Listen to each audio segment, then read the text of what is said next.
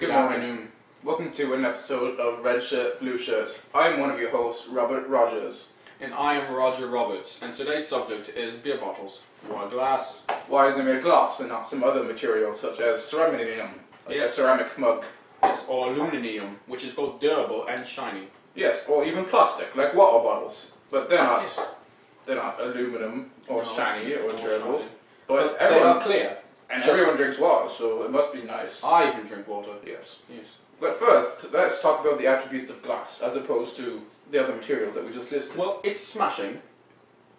like, Like, smashing. like you can smash it against things. Yes. To let out your You could, you could also smash this. Oh, that's true. Not not here. You're not going to smash it against my table Oh no, of course not. That would that would damage both the table and the and the mug. and my feelings. Yes. This is your special table. Your great great grandfather made it. Yes, twice. Yes. And um, Well, and of course, glass is made from sand, sand and sand is made from water. glass. And um, Sorry. What? Anyways, but um, the shape of your bottles. Could we not change the shape? Uh, I think if you change the shape, it would wreck its features, Well, such as the, the grasping of the bottle. well, there's You don't many, want it like a tub, and then you can't grasp it. there's many other shapes that are easy to hold. Like a mug. No. Well. You don't look very comfortable drinking that. No, it's quite. There's also a chip in there. It hit my lip a little bit when I. No, no, there's a potato chip in there. There's a potato chip in your drink. Oh, it's quite soggy now. Yes, that must be nasty. Fish it out.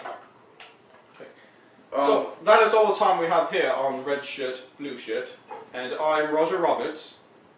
and I'm Robert Rogers. Yes, and we are signing off here. Good night, New York. And good night, London. Good night, Florida. Only those three cities. And uh, we are here today to, to bring you this subject. Beer bottles. Why glass? Shit, man, I just spilled water.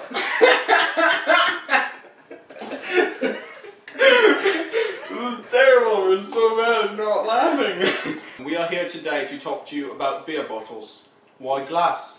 Why are they made of glass? Why and are why not some other substance, such as Ceranium. Yes. Ceramic. Or aluminum. Molly went everywhere. this is terrible. this is never gonna work.